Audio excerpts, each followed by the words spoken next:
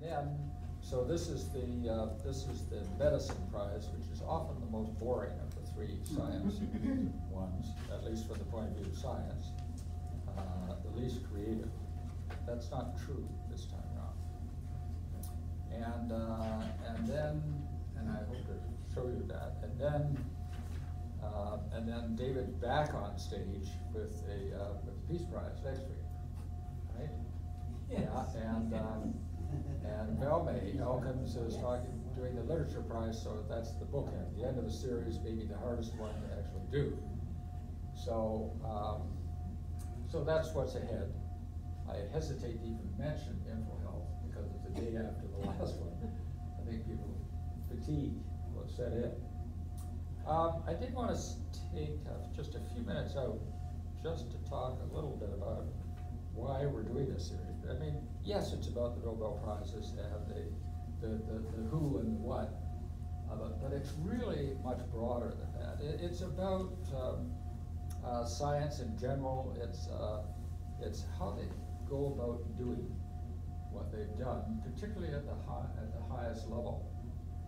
And, um, and that's what we're being treated to, in a way, with this Nobel series. Uh, and but there are broader uh, societal implications, and um, and there. I was just asked about the sources, where the sources come from for a lot of this. That's very germane, uh, because quality of the sources for a program like this is everything.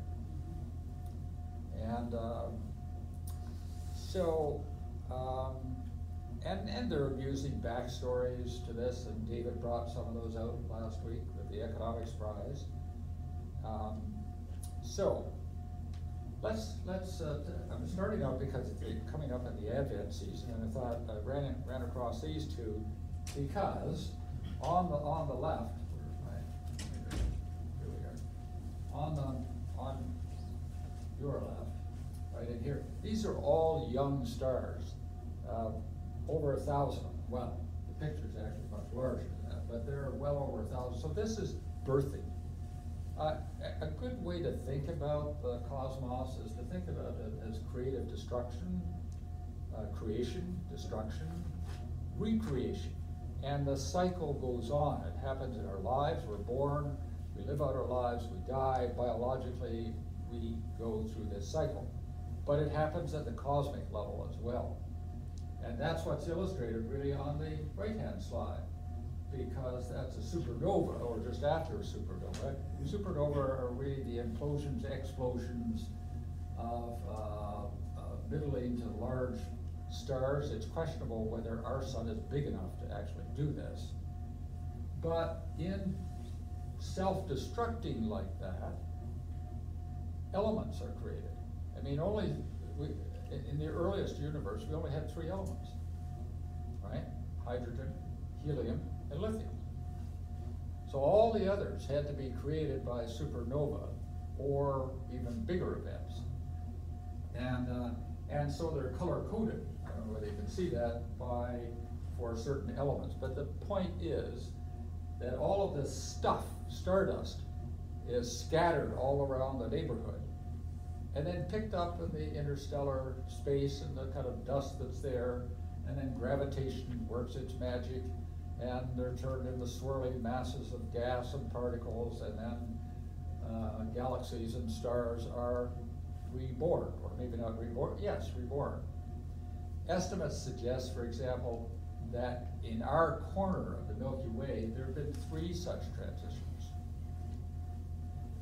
And uh, so I think it's a, it's a great way to think about things because it expands the canvas enormously, doesn't it, to, to think about this.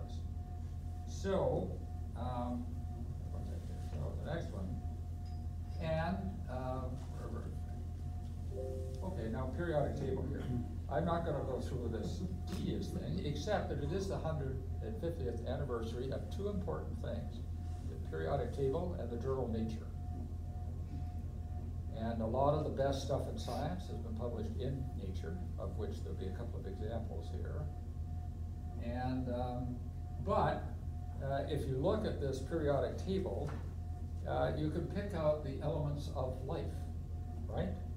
So, hydrogen, here, sodium, uh, magnesium here, um, potassium, calcium, and so on. But notice where they all are, and the top, and the top two layer, top two or three, right? It's carbon, the key one, the one I've called the matriarchal uh, element, because of its unique ability to form strong but not too strong bonds.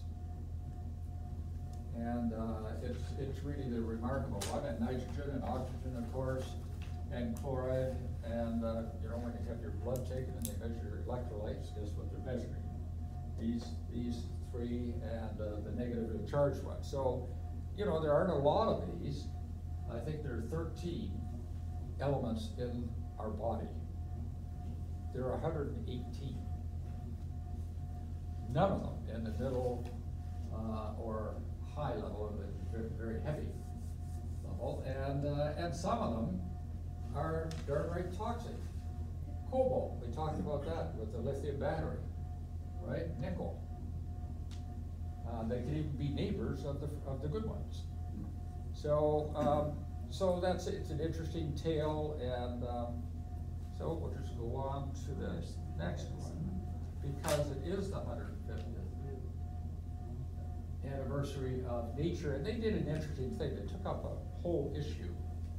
And, um, it's kind of hard to pick out the ten top ones in, uh, in hundred and fifty years, especially when it's published every week. The fact that it was published every week was a huge uh, step forward because um, science tended uh, to move forth in a snail's pace. Stuff had to be uh, published in the proceedings of the Royal Society. They weren't published very often. The same thing in the United States and in other countries, the equivalents. So it was hard to get stuff published, and there were kind of long delays. They offered quick publication for good stuff. Brevity.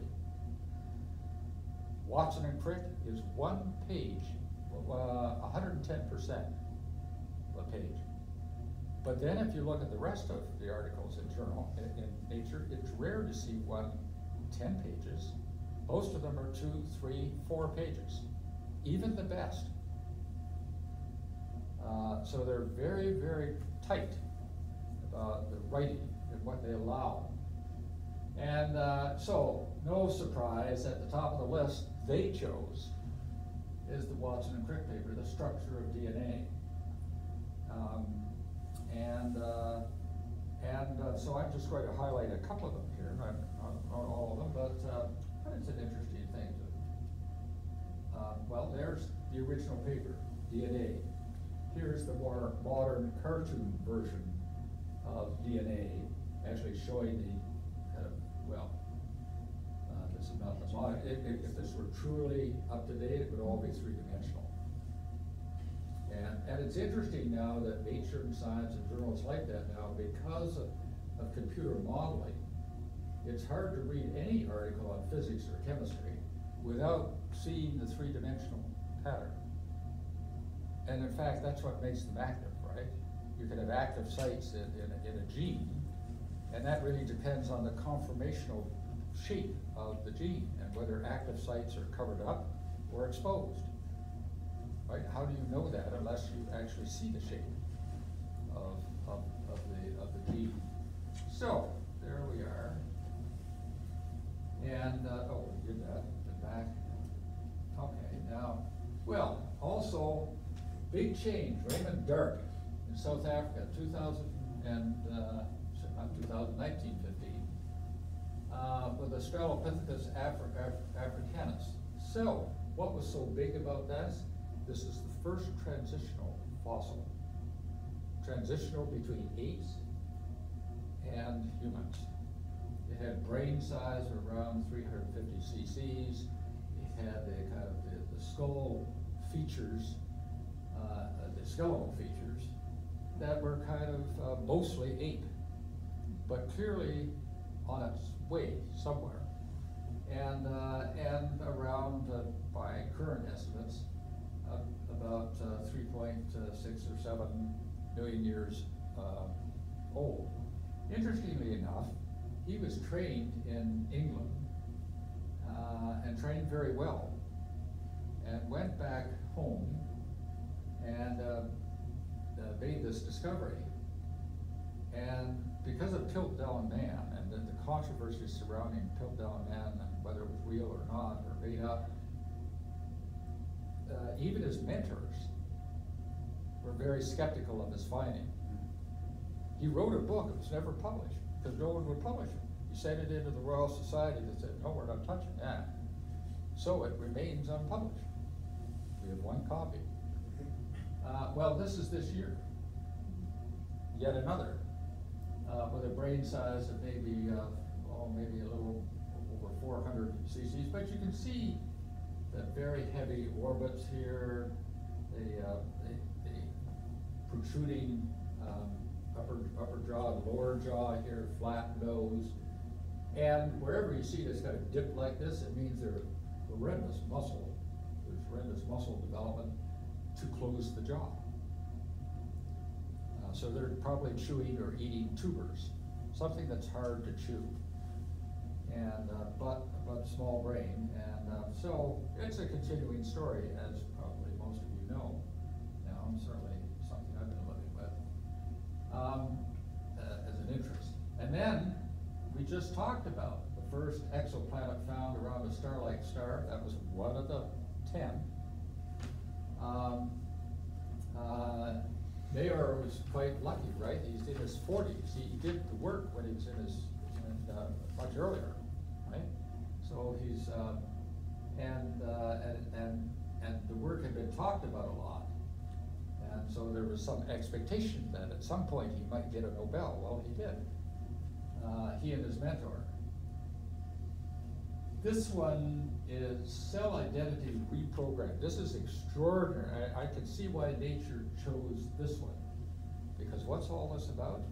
It's reprogramming cells. Mean, you could take an adult cell, say a fibroblast in, in the skin, and it, by manipulating four genes, only four genes, you can, you can turn that cell into a stem cell and then re-engineer it to become a nerve cell or a muscle cell or almost any other cell.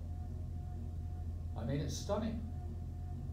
Talk about creation, a creation story in biology, that's one of them. And it's a very powerful one.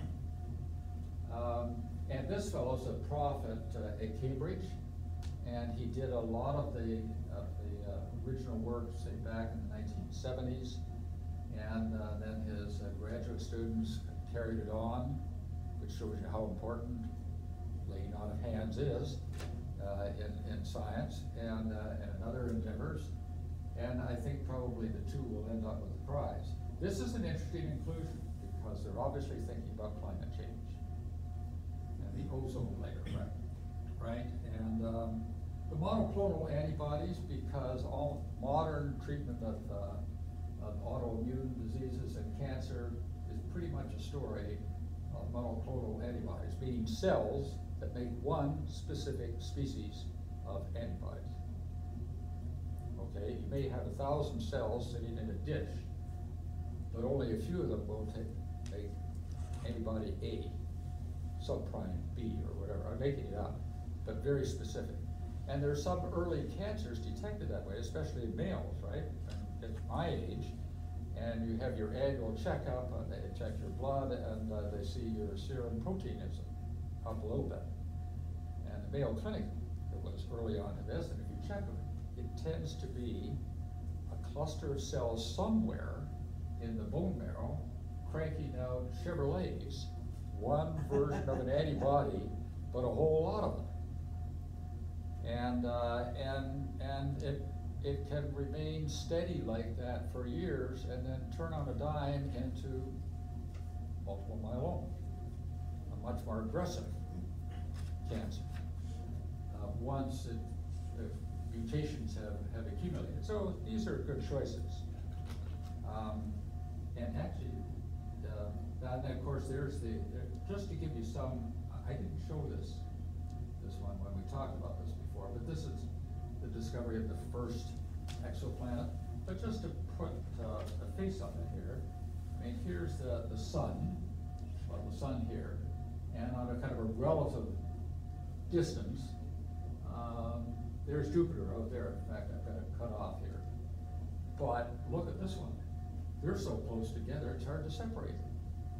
And this is a huge, uh, not only is the sun, the, the sun much larger, or, larger anyway, but this is a very large planet, and it's mostly gas. And you wonder how it hangs onto its gas with that thing sitting so close. Um, I don't see a lot of interest in that, except that they found the first exoplanet. Um, so let's move along. Oh, now, recording electrical activity from single and multiple cells. Boy, has this ever changed. I got into this in the late sixties in Toronto, uh, and, uh, and it continued on into Oxford the first, uh, two or three years of sticking a glass micropipette and, uh, less than a micron size at the tip and peeling it into a single cell and recording from it. And we thought we were very elegant, and there were several Nobel Prizes granted in that period using that kind of technology. So I thought it was really hot. But, um, but as everything in science, it moved along. That's crude now. Hardly anyone's doing that now. Uh, the next big advance was this patch clamp thing. You don't punch a hole through the through the cell. You suck up the, a little bit of the cell membrane into the pipette, and it might only include one um, ion channel. Then you can define the characteristics of a very specific ion channel. Otherwise, you're listening to all of the channels when you stick an electrode inside the cell. So that was a big step forward. And then the ability to record from, in my days, you had to hit the, the cell body to stand any chance of recording anything. But these days, the technology, from almost any part of it. And, and even more importantly, in the last, um, say, 15 years, if you take those ion channels with a uh, compound, a protein that fluoresces, then every time that cell fires, there's a bit of light. And furthermore, you can also make them responsive to light. You can stimulate them. So they're already doing this in humans, using a form of pulse light delivered deep in the brain to stimulate cells that have been sensitized to light as a way of very discreetly and with much better control stimulating parts of the brain. I mean, that has enormous uh, implications for the management of things like depression. So it's uh, so that field has just moved along, and uh, the technology, and uh, and I've said many or several times before, all of this is built on the shoulders of people who preceded them, and, uh, and uh, it's certainly true here. So, um, and the generosity of people, because I mentioned this, I mean, I spent a very frustrating year in Toronto trying to teach myself how to do intracellular recording. It was the dumbest thing in the world to do, do it that way because when I went to Oxford, six days later, I was in a lab where they were doing this all of the time, and I thought, oh, gee, you know, why did I spend all that time wasting that time learning this? I should have got on an airplane. And in fact, Jack Eccles, who later got the Nobel Prize, was in Buffalo. And we actually became, in a way, friends, and he saved my, my uh, butt uh, more than a few times over interpretations of, of data. So even, you know, people are generous by and large in the, in the science world, at least that's the way I felt. So let's just move along. And uh, so here we are, uh, Nobel Prize in Physiology or Medicine, and uh, here are the recent ones. Uh, last year, uh, this was a, I think this is, was fairly prosaic, uh, and I'll say why later, although effective it, it, it showed that uh, you could create uh, uh, antibodies that could target the, the place where, where cancer cells and T cells kind of join. It, by, by, cancer cells and, and T cells, they're a form of lymphocyte, right? And, uh, they, they kind of buddy up to one another and kind of shake hands through complementary receptors. And if the key fits the lock, the cancer cell gets a bye and the T cell keeps going. But if you create an antibody to disrupt that key in the lock, now the T cell says that cancer cell's foreign and marks it for destruction. That's what they got the Nobel Prize for. That's, that family of drugs is what uh, Jimmy Carter was given.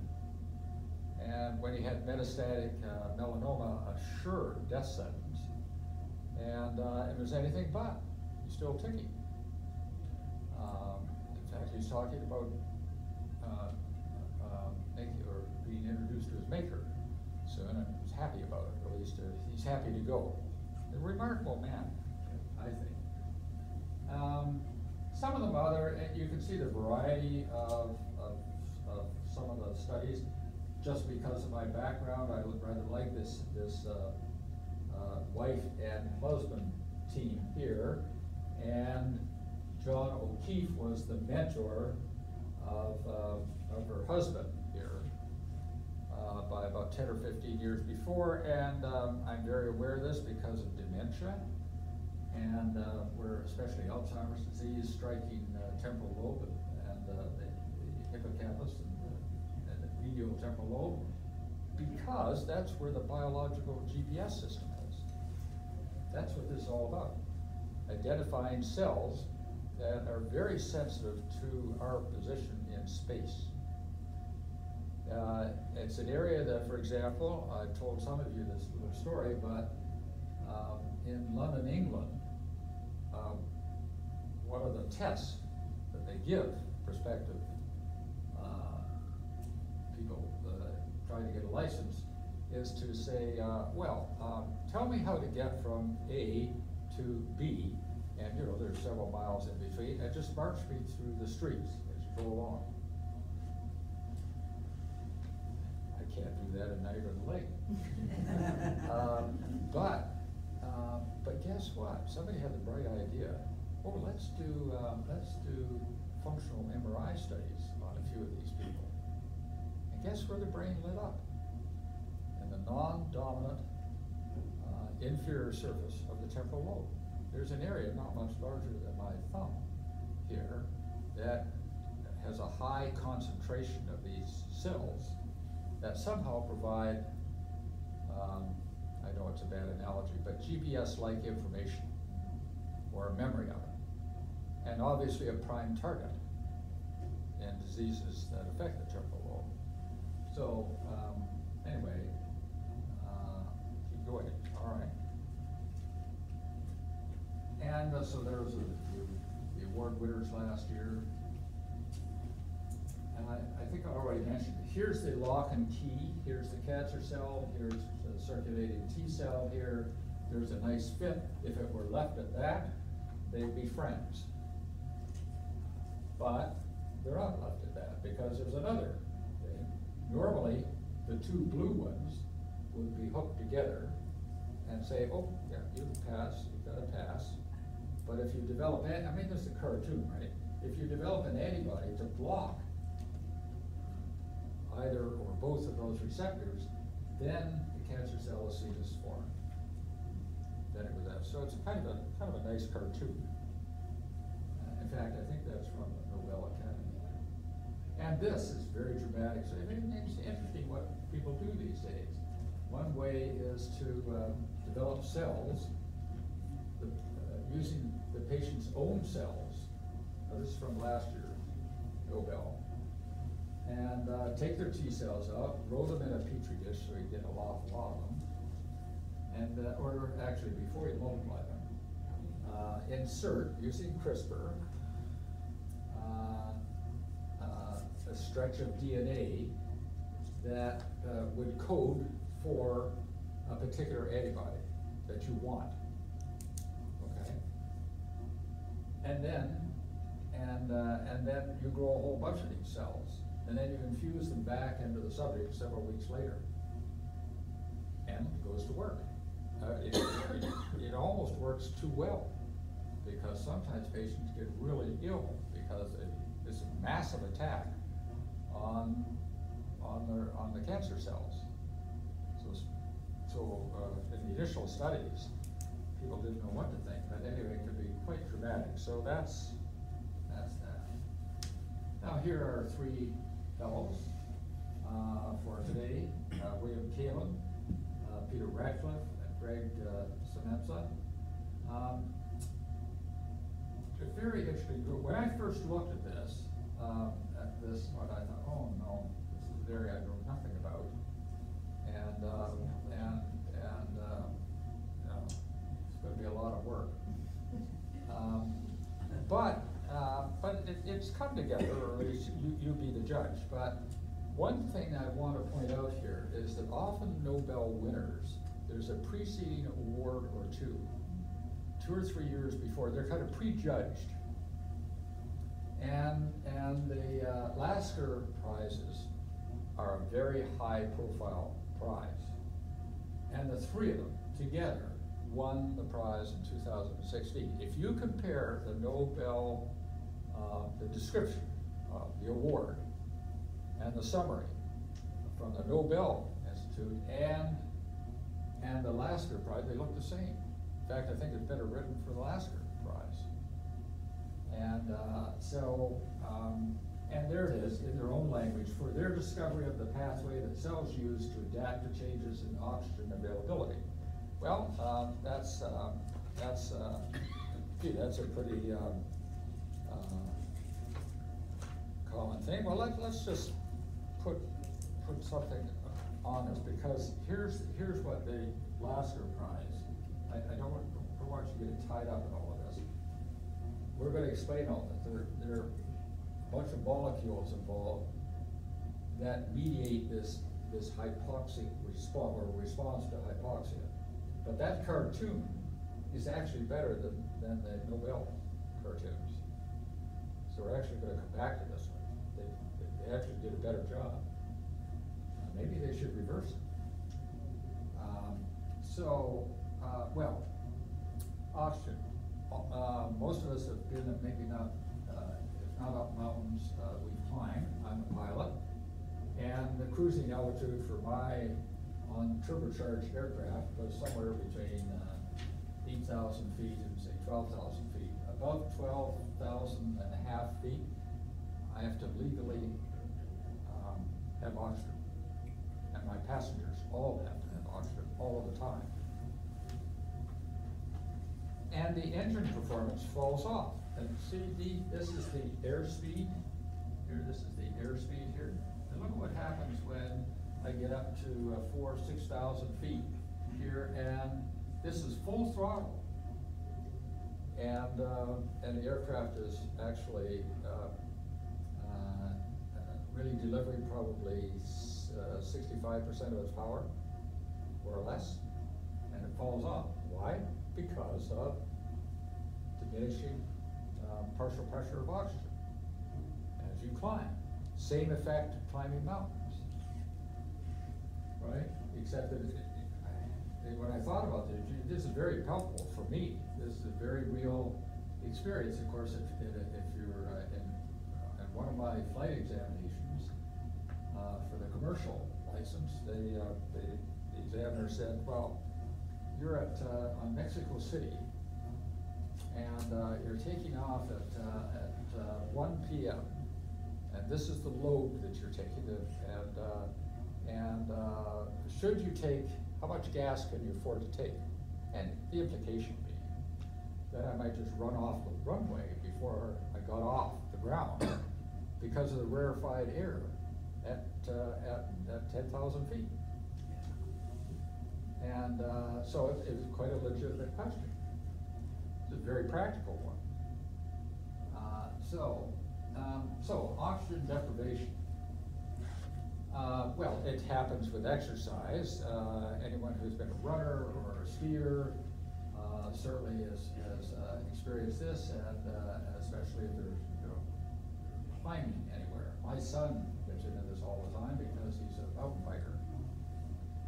And, um, but how does a cell sense oxygen deprivation. How does, how does that actually work? Um, now, there are receptors we have in the neck, chemoreceptors, that do tell the brain that the oxygen level is down and they need to breathe deeper and maybe more frequently. Okay? But it wasn't really, and then there are other tissues like uh, the fetus and the placenta uh, that are very sensitive to oxygen levels. They need some signaling. And um, so the, the body of evidence I'm going to be talking about here is in the 1990s.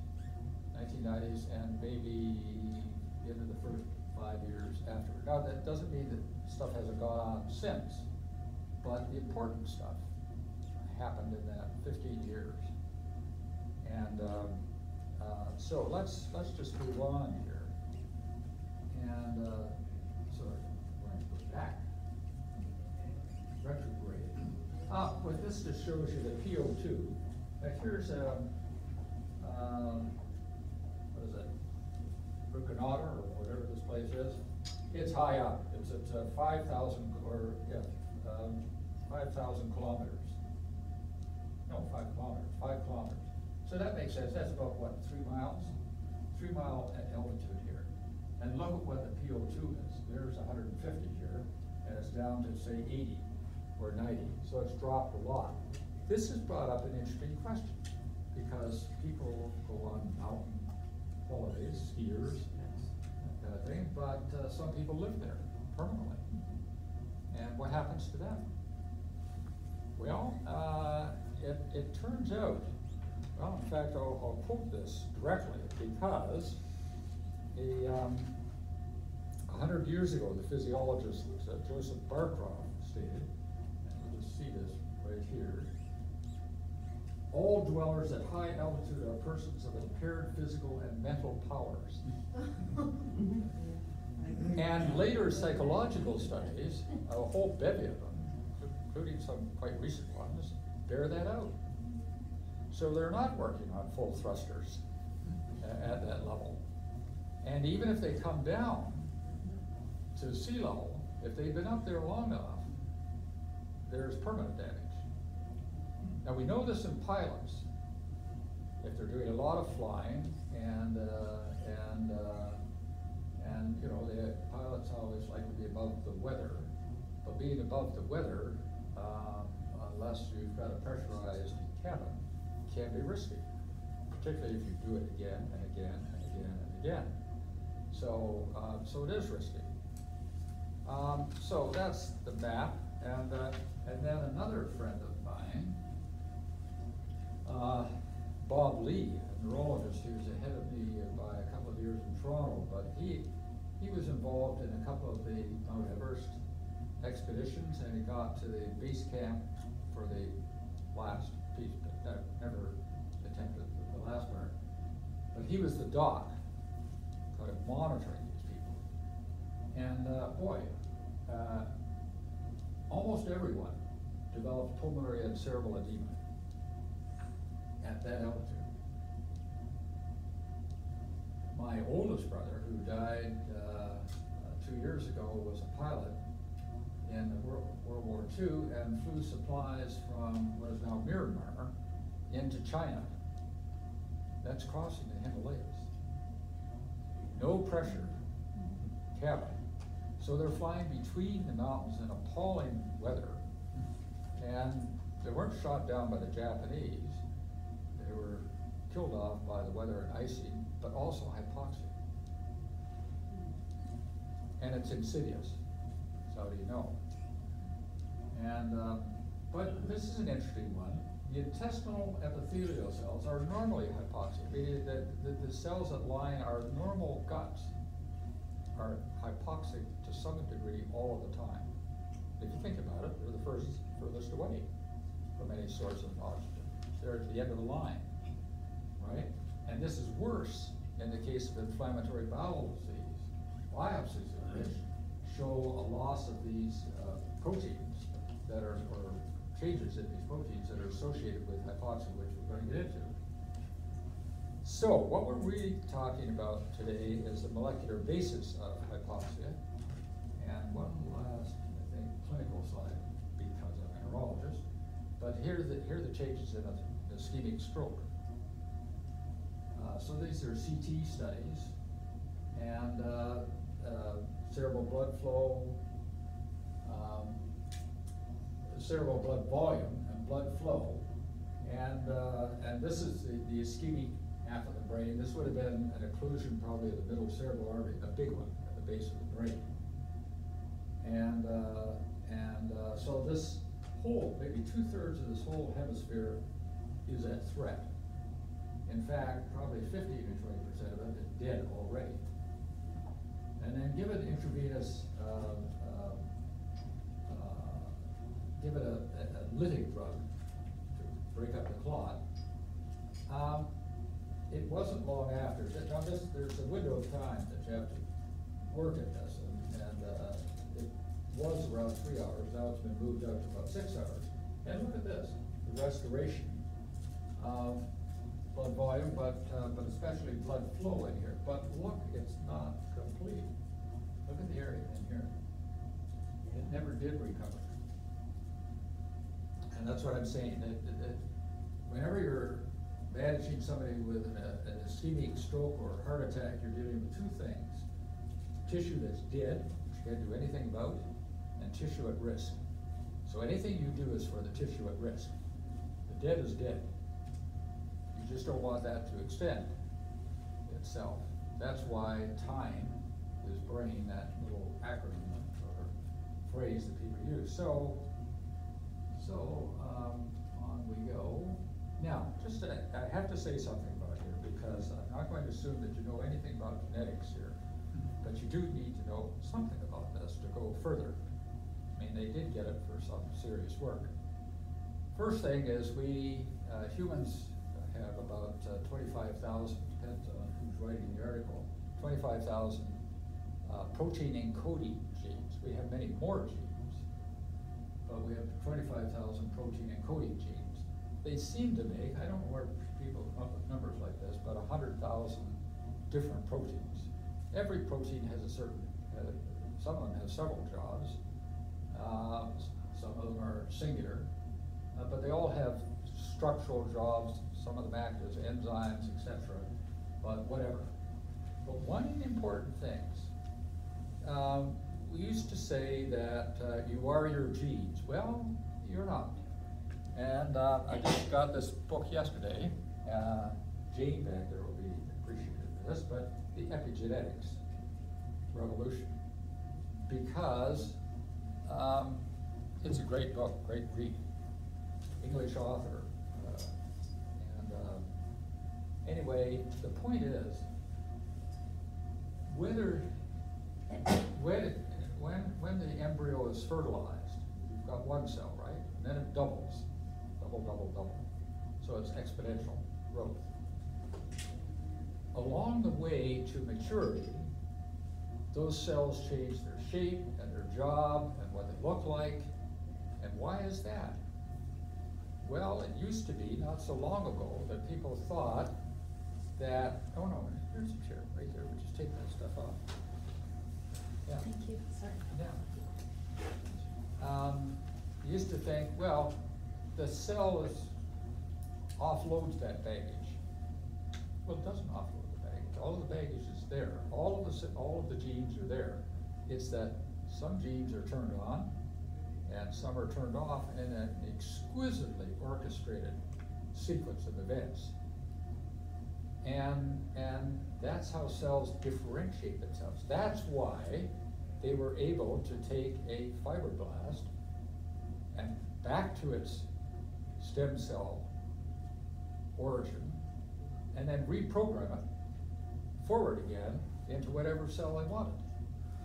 You couldn't do that if the whole, uh, if all the genes weren't still present. But different ones are active. That's a really important concept to get.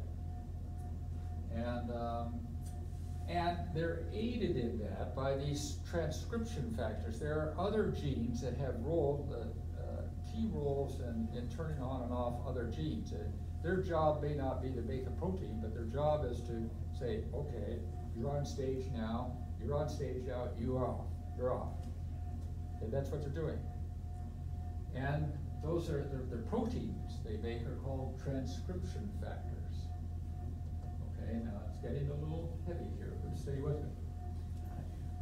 What I'm talking about here is ancient stuff.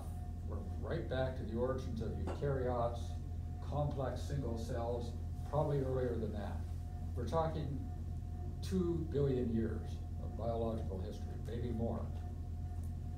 These genes have been conserved over that long period of time. Why? Because they work. Nature kind of figured it out in a, a system, and they've, they, they've, they've kept the same team in the oxygen sensing part. So these are the genes I'm talking about now, the proteins are, historically speaking, they've been around a long, long time because they work. And uh, now, just a word on mutations. Mutations happen all, all, happen all the time. I've often used the analogy that uh, if you had a, a, Bible and you passed it past a bunch of monks, uh, uh, how often would they make a mistake in transcription? A lot. In fact, sometimes it's created theological interpretive problems.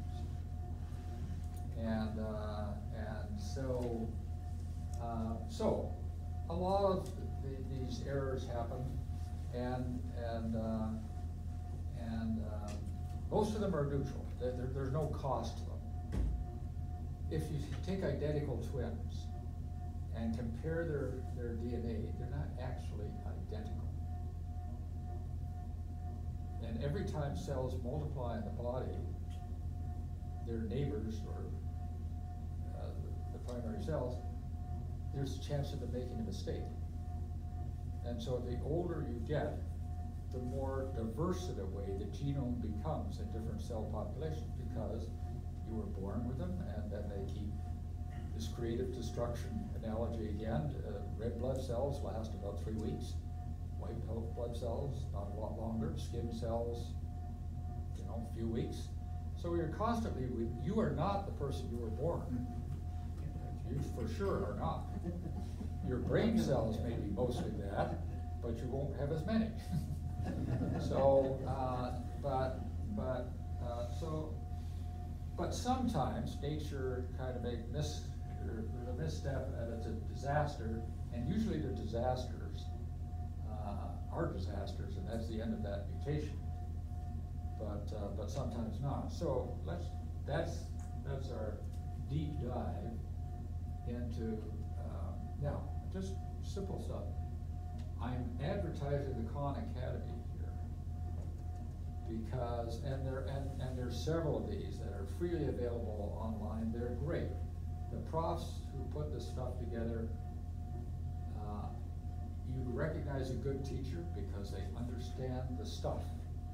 Uh, it's been estimated that you have to know at least five or ten times your audience to make it clear, share the understanding or something.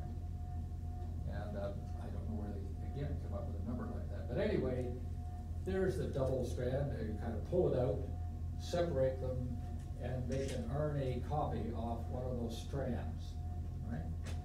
And uh, so now you have a transcript, an RNA transcript of that, and and in groups of three of these uh, of the of these bases define that would be one amino acid, that'd be another amino acid, another amino acid. So you now see how the protein might be built up over into hundreds of amino acids, right?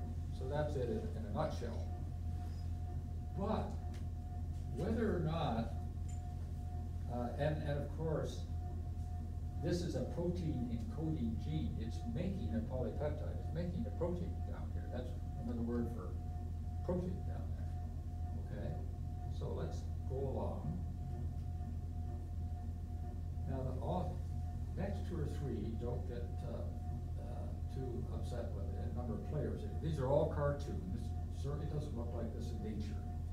But, but in order to make a copy, you obviously need an enzyme. And the enzyme is RNA polymerase, right? Its job is to make uh, kind of a copy of the, of the DNA, at least one strand of DNA.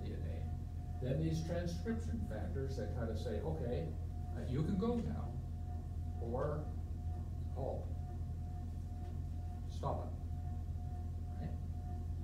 And, uh, and there's a promoter thing that kind of tells the polymerase to start at site C. Uh, here, not A, but not E.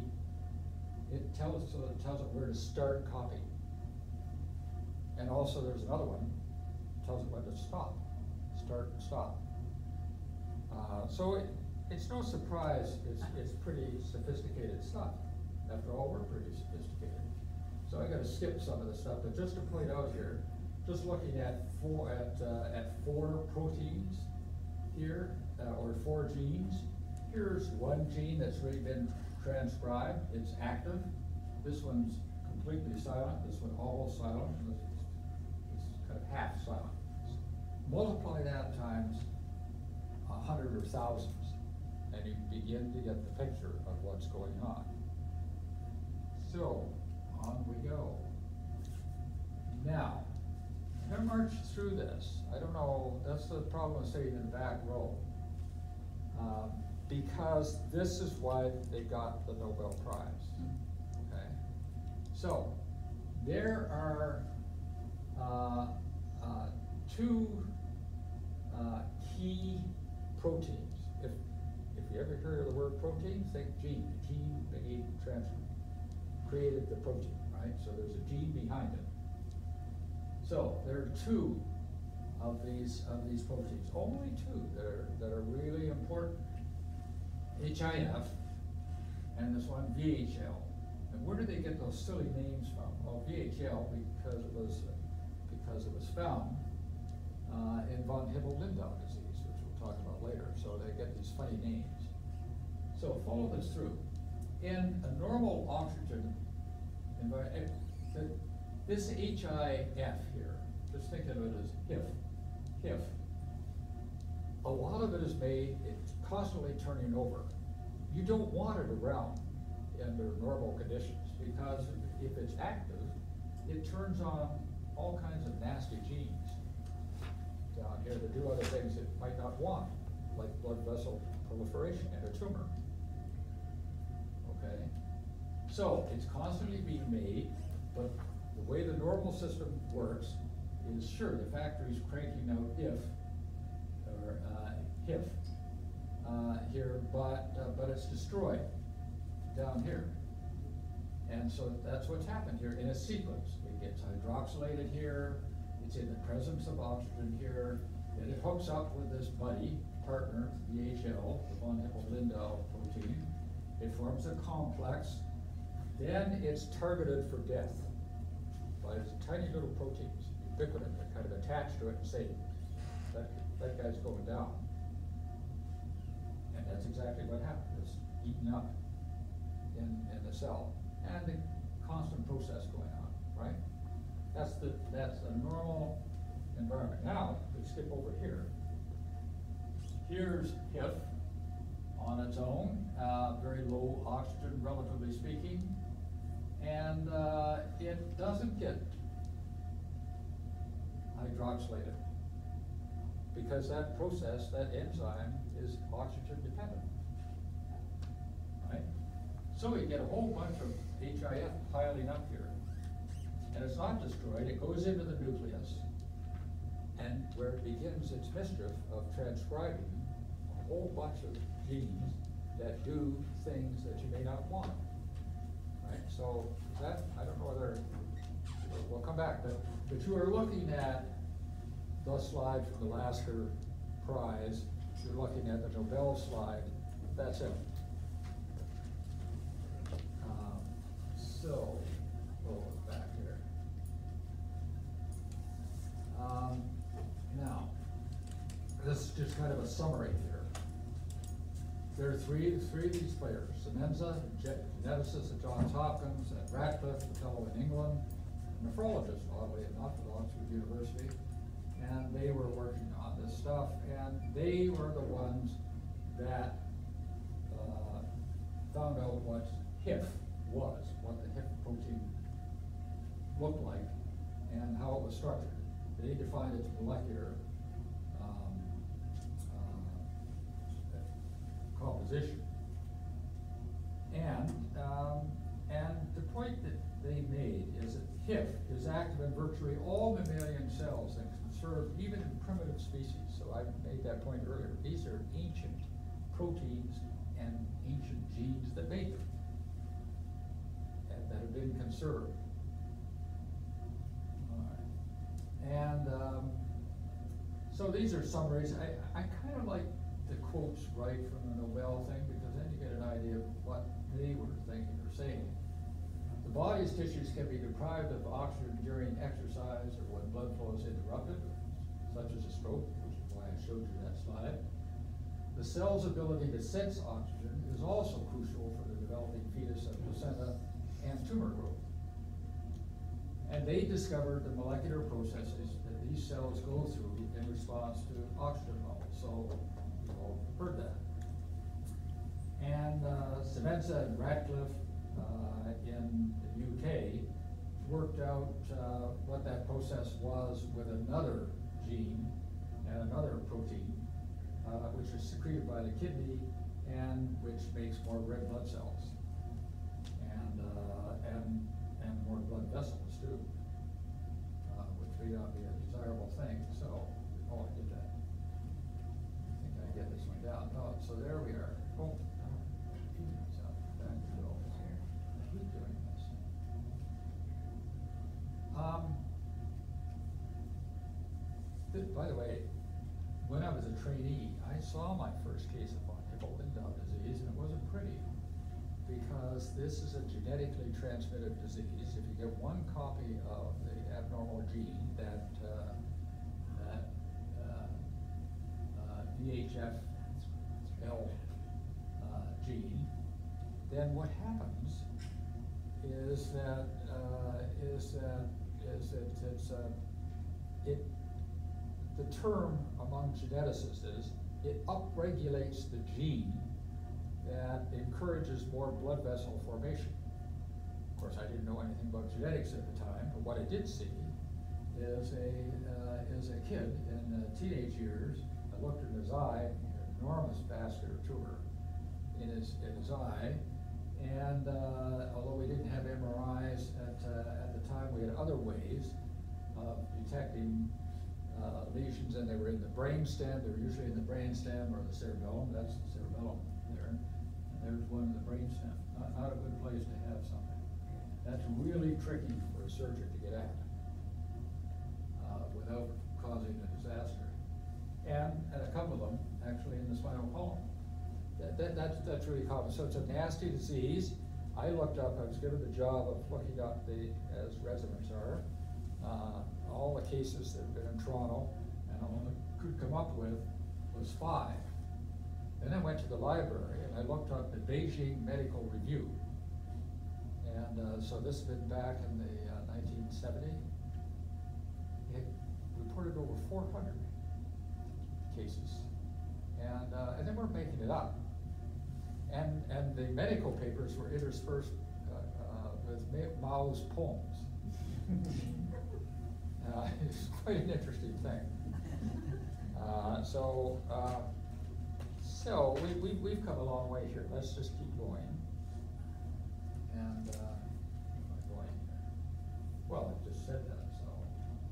Oh, one of the important things that it does, it's not all bad when these, when this, uh, uh, when this system kind of kicks in in hypoxia because it has sur survival mechanism. Healthy, normal cells have a very efficient system for generating energy. High energy phosphate, ATP. Some of you may have heard of it, but it's a very efficient system, but it only operates in the presence of oxygen. What happens in this situation is that if, if the body senses hypoxia, for some reason, then it switches to a, to a metabolic pathway that isn't nearly as efficient, but doesn't need oxygen. So it's making less ATP to kind of keep the cells ticking, but ticking slowly. Okay? This is what kicks in in runners when they get to the mile eighteen in the marathon and the cramps and all that kind of thing happening. They, they, they, that aerobic pathway has long since uh, dispensed its available ATP. And that, that, uh, and now we're breaking down fat and, uh, and, and we're dependent on this kind of low energy yield system, but it doesn't depend on oxygen. So, so that's a, that's a good thing. Um, uh, tumors take advantage of that, especially solid tumors, because as you might imagine, a solid tumor like this, or you know, somebody with a solid tumor in the frontal or somewhere else in the body, you can well imagine that the blood supply at the core isn't what it is at the periphery. So it's kind of running on less gas. So to survive, the, those inner parts of the, of, of the cancer kind of switch to this low, and relatively low energy pathway to generate the, the, um, the energy to just stay alive. And, um, and sometimes, I don't know whether the next slide is, an example of it or not. Oh, then, you, never mind all the boxes. Remember I said, one, there are two important proteins, there's one, look at all the systems it affects. The pulmonary system, breathing, metabolism, development of blood vessels, pulmonary circulation, red blood cell production, lung, uh, cancer. So that's why they got the Nobel Prize. This is kind of a neat little system with only a few genes and a few proteins, and yet it seems to be key to so many other things going on in the body. And um, and uh, and here's an example of one of the things that happens in people at high altitude, living at high altitude. This is a pulmonary arteriole, a small artery, and uh, and look what happens. The wall kind of thickens, fibrotic tissue here narrows, and anywhere you see a narrow blood vessel, that translates as deprived blood supply but hypertension. So this is an example of hypertension, alveolar hypertension. And, and in the tissue, this could be the core of, uh, of uh, brain tissue here. In these areas that, some areas simply can't get enough oxygen and then, and they die, they become necrotic. Other areas of the tumor are hypoxic and have this very high level of the protein HIF we're talking about here. And other areas are kind of relatively good. But look at all the areas where, when this system goes wrong some way or another, uh, I mean, we're talking prostate CA, uterine CA, ovarian CA, CA, breast CA, you name. Uh, it's, uh, uh, so, one of the things here are what, what, what's the payoff here? Can you develop drugs that might actually, uh, have an effect and take advantage of the system? And, uh, and that's in fact what's happening now, and if you, I don't know whether you looked at the Nobel Award itself, um, but they certainly highlighted the potential of using some of these, blocking some of these drugs or blocking the genes um, to, uh, to help patients with different types of cancer. Uh, So far, I haven't seen anything. The most important part of this, Think this whole Kaelin in particular, oh, here we go. Colleagues hail the trio as role models to other scientists. They are extremely humble people. All three hold scientific rigor and reproducibility to the absolute highest standard. You don't often see that out in public. That tells you that these three people are really respected by their colleagues. And, uh, and interesting, the quotes from Kaelin taken his field to task, that's before he got the Nobel Prize. So he's taking a chance, right? Taken his field to task for pursuing possible cancer treatments that aren't backed up by strong evidence. The most dangerous result in science is the one you were hoping for, because you declare victory and get lazy. underline the NIH in the United States and big, big healthcare organizations, and think about Alzheimer's disease which completely has lost its way over the last ten or fifteen years because of this group think. And uh, so the point's well taken, and, uh, and in an essay to Nature, he says, uh, the main question when reviewing a paper should be whether its conclusions are likely to be correct, not whether it would be important if it were true. Boy, that's a, that's a life lesson. Never mind a lesson in science. Uh, real advances are built with bricks, not straw meaning the solidity of the evidence. That's why they said up here uh, about uh, all whole rigor, scientific rigor. That's what he's talking about, I think. So, uh, and there they are. Um, so I, I, um, I didn't know much about it, anything about it actually when I started out, and I thought cajole somebody else into doing it, but that didn't work out. So I, it, it's actually been good because I, I didn't probably start out where you were. And, um, and it's been fun. Um, and I, I think the lessons are not just the stuff that they do, it's how they do it and the standards which, which they keep. I think, I think that's really important. And it's, and it's not often that colleagues come out in public and speak of their colleagues, and they're not associated with it, not in the same lab. And they might even be competitors. It's like a book I just saw on the New York Times book review about Margaret Thatcher. The third volume has just come out. And, um, and she, oddly enough, had a lot of friends among the labor, among labor, among people that you know, they couldn't agree on almost anything. But they could agree on how about, how about uh, respecting one another.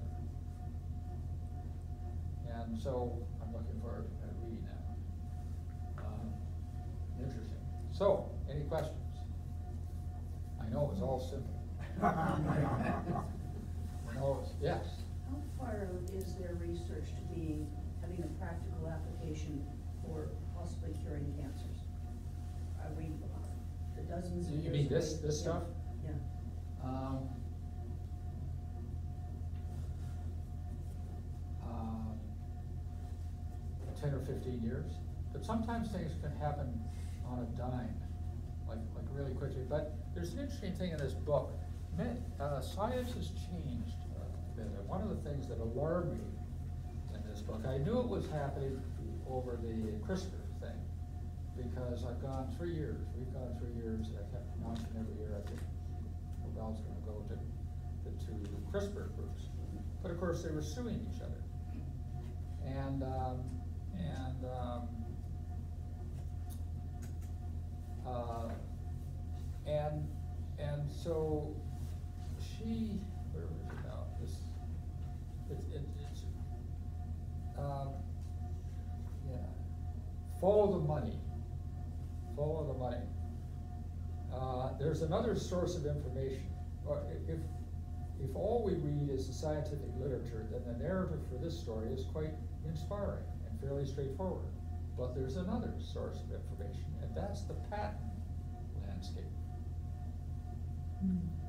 Institutions and individuals, especially institutions, want to control the market. So in, other words, if a, if a drug is developed, uh, they're going to get a piece of the action. That really slows down the field.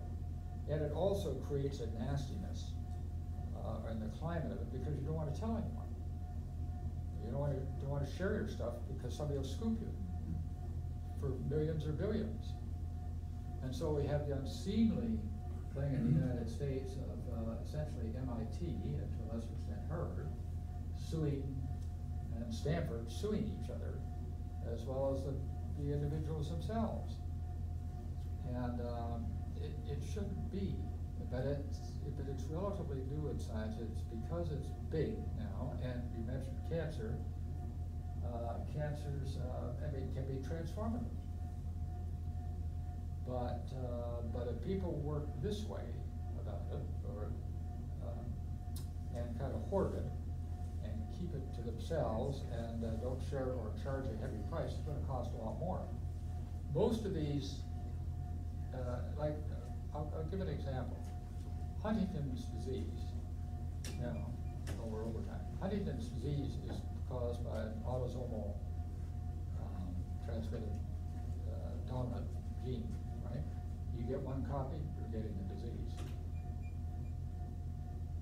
No one knows what that protein does. They know what the gene is, they can specify that, but they don't know what protein does. What know- do know is there's a lot of damage.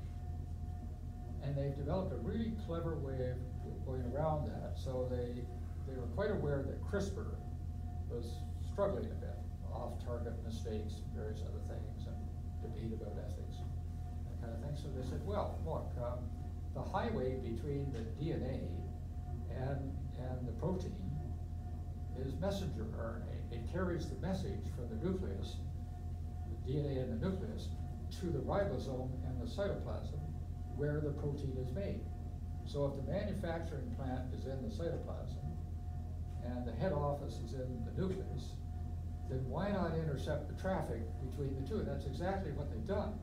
They've developed, developed uh, drugs that, uh, in one way or another, uh, hobble that messenger RNA or corrupt it in some way. So the, and, and it seems to be working in Huntington's chorea. And the other one, I, you know, um, in my youth in pediatric neurology, I, Saw at, at SickKids in, in Toronto, tragedy after tragedy of, of kids with, uh, and at the New England Medical Center, with progressive muscular atrophy, which is a death sentence. And if they, if they, some of them developed a little bit later, the course a little slower, but the results the same. That's been the solution uh, in that disease. And so kids that couldn't swallow, kids that, uh, that chewing, kids that couldn't sit up, uh, kids that couldn't walk, the disease stopped. But more importantly, it actually started to get better.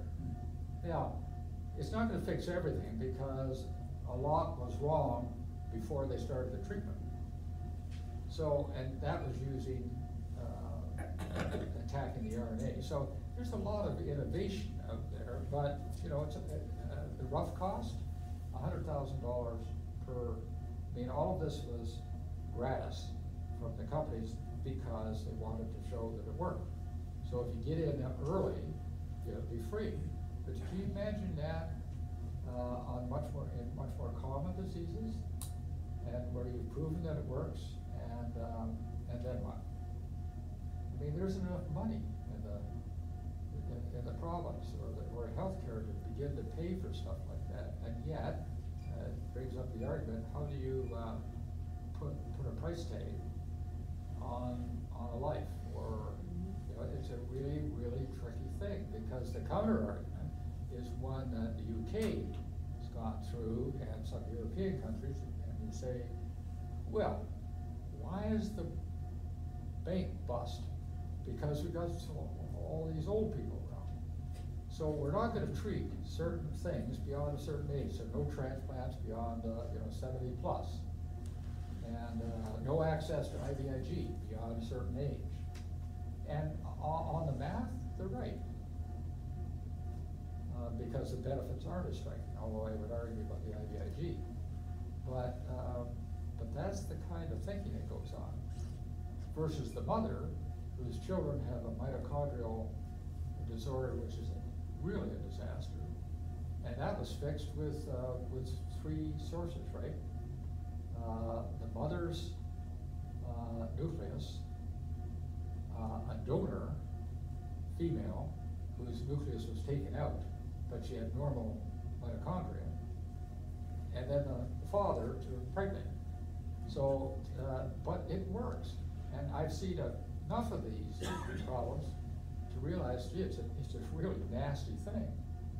So, um, how do you put a price tag on it stuff like that? Doesn't seem to appear at this level. I think this is fairly low budget research. Yeah. Any, any other questions? Yes? Two, two observations. You here. wanna talk about the periodic table? What's that? You wanna talk about the periodic table? No, I don't. No. I use that on my mouse pad, by the way. Um, One of the mysteries is those that have been overlooked for the Nobel Prize, or ignored in the Nobel Prize. Hawking comes to mind. Yes? But also the um, crystallographer, whose work was the foundation of the DNA analysis. Yeah.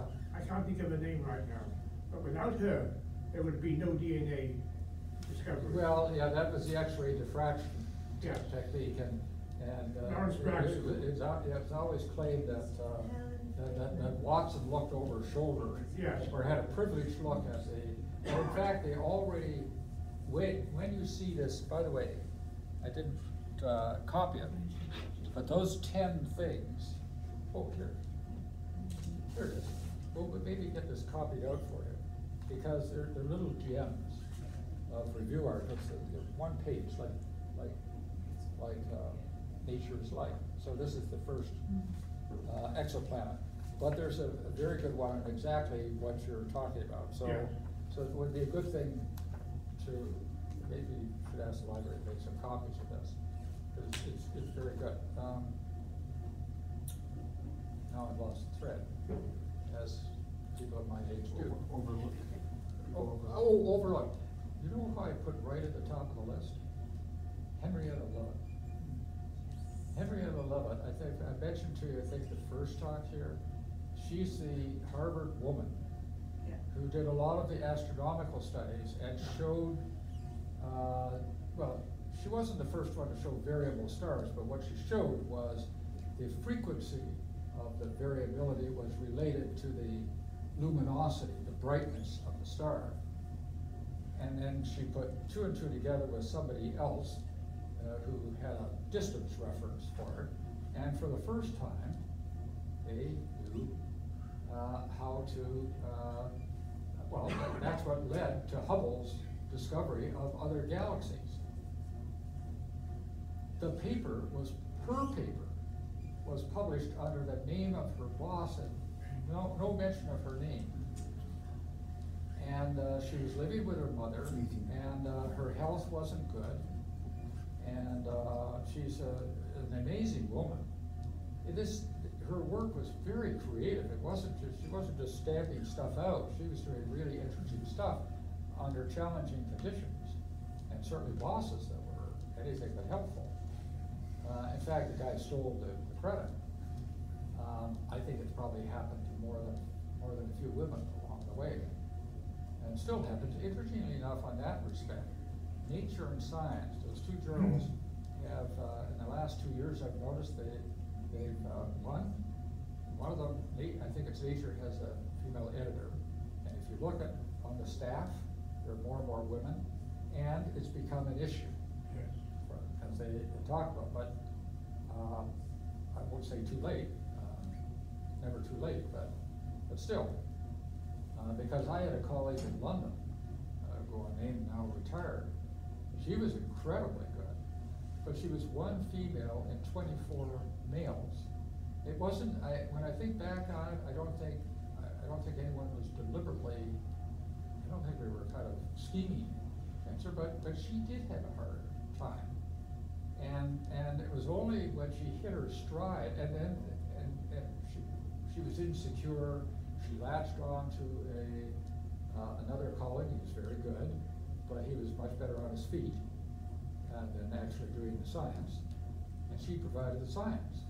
Well, of course, everyone thought it was him doing the science, and then just toward the last ten years of her career, everyone kind of realized, wow, this person's really been doing a lot of good stuff.